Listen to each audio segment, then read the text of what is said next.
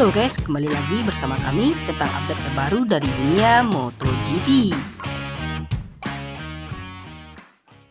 Berikut ini adalah hasil latihan bebas kedua MotoGP Malaysia yang digelar hari ini 11 November 2023 beserta daftar klasemen terbaru MotoGP 2023.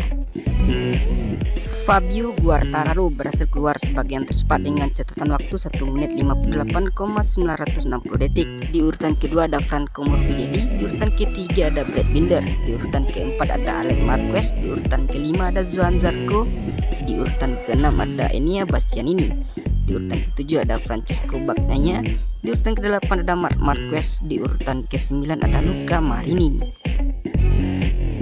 Di urutan ke-10 ada Jorge Martin, di urutan ke-11 ada Paul Espargaro, di urutan ke-12 ada Alex Espargaro, di urutan ke-13 ada Fabio Di Gian Antonio, di urutan ke-14 ada Maverick Vinales, di urutan ke-15 ada Jake Miller, 16 ada Raul Fernandez, di urutan ke-17 ada Alvaro Bautista dan berikut ini adalah hasil selengkapnya.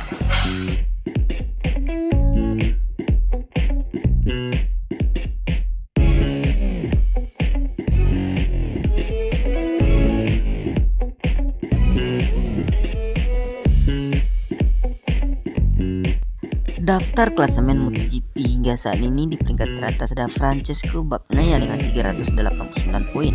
Di peringkat kedua ada Jorge Martin dengan 376 poin. Di peringkat ketiga ada Marco Bezzecchi dengan 310 poin. Di peringkat keempat ada Brad Binder 249 poin.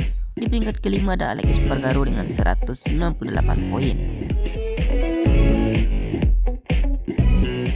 Siapa rider MotoGP jagoanmu? Coba tulis di kolom komentar. Sekian dulu update berita dari kami. Nantikan update selanjutnya. Terima kasih telah menyaksikan video ini. Jangan lupa like, share, komen, dan subscribe.